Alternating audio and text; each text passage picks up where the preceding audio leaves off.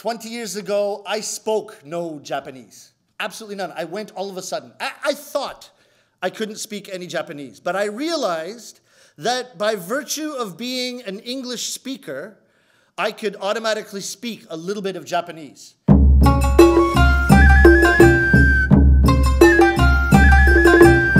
And the reason is this if you say certain words of the English language in a Japanese way, in a katakana way, they magically become Japanese. This is very useful for if you go to Japan for the first time. Just learn the katakana syllabary, right? We have an alphabet; they have a syllabary, right? So we, for us, it's A B C D E F G H I J K L M N O P, etc. For that, for Jap- Japan, it's a syllabary, which means it's syllables: a i u e o, ko,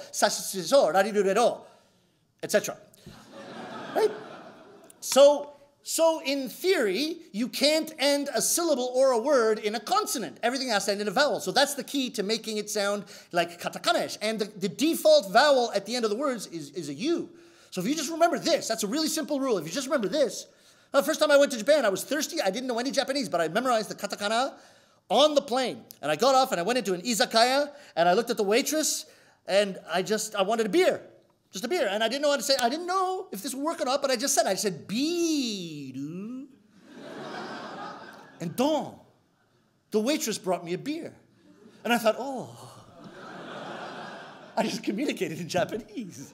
I tried other ones. I wanted a wine, so I just said, wine, and don, she brought it. I, you know, I, I tried harder words. Cheeseburger, cheese, baga, don. And I wanted to see how far this could actually go because my, my vocabulary is expanding exponentially daily at this point. But I wanted to see how far I could take this. You want to know your limits. I was feeling a little bit nostalgic for my mother's banana chocolate chip cake. And I was sure, I'm sure they have it in the Japanese bakeries, but I was positive that this was not an actual Japanese word. But I just went in and I tried it. I went into the bakery and I said, banana chocolate chip cake. And oh, I got it! I got it. And I thought, wow, Japanese is so easy. it's just English spoken a little bit differently. Problem is, there's times when this works, times when it doesn't work, times when it doesn't work, you run into problems. I ran out a few years ago at my Tokyo, Tokyo apartment, I ran out of soap. And I'd forgotten the Japanese word for soap, so I looked it up uh, on Google, the Google Translate, and it came up second. It was a very difficult Chinese character to write second, but at least I can remember the sound second, second, second, second, second. And I went to the local convenience store and I just asked the, the guy at the counter, I said, Sumimasen, excuse me. He said, Yes, sir, can I help you? And I said, Second, kudasai. I want the second. Sir, I'm not sure if we stock that item. Could you please repeat that one more time? I said, What do you want? Second. This one. Second. Huh? Second. Second. This one. Second. Sir, I'll just have to check with my manager if we have it or not. Could you please repeat it one more time? I said, How many times do you want me to repeat it? Huh? Second, second, second, second, second, second. Okay, here's the thing. I've been in Japan 18 years, well, 20 years now, but 18 years at the time. It's a couple years ago. They, I feel like I'm quite Japanese in my heart and, and, and, as far as language goes and for integrating into the culture, I feel like I'm quite Japanese. But there will always be a Canadian aspect to me. There will always be the foreign aspect that I can't get rid of. There will always be the gaijin in me. And it is in these cases, okay? It's a very strict rule.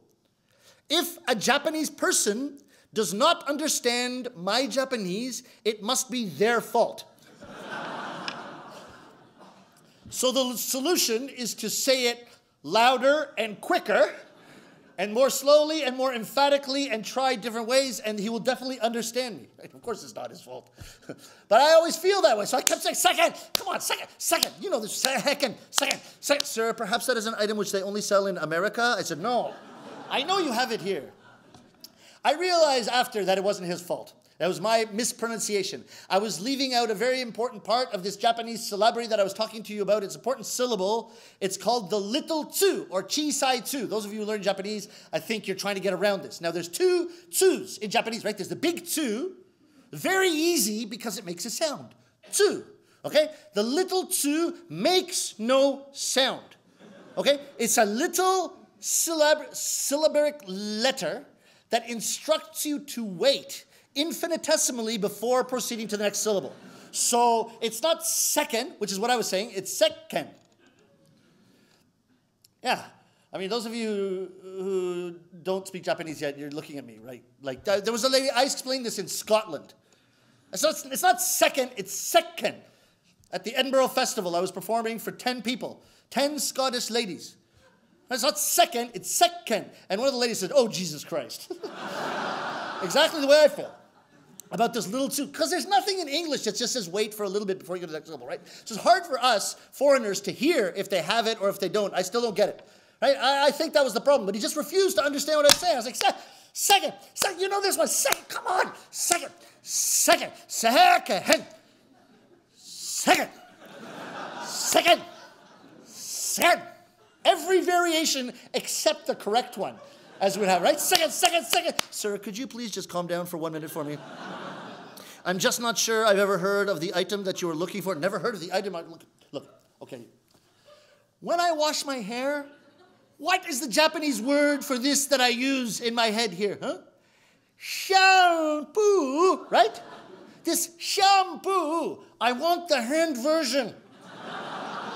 I want to wash my hands. I want to wash my hands. Ah, oh, sir, if you would like to wash your hands, at the back of this room there is a door. In the next room there is a sink. That's the toilet. that much Japanese I know. And I gave up and I searched myself. I gave up, I searched myself, I found what I was looking for. But I want to know the proper pronunciation for this. Because in three or four weeks, I'm going to run out and I'm going to go through this whole thing again, which I don't want to do. So I went back to him, went back to the same guy. I said, This, you, huh? This, this what I wanted, this what I was looking for, this is the item I wanted to buy. What is the proper Japanese pronunciation for this item? He said, Ah, sir, the proper Japanese pronunciation for that item is hand soap.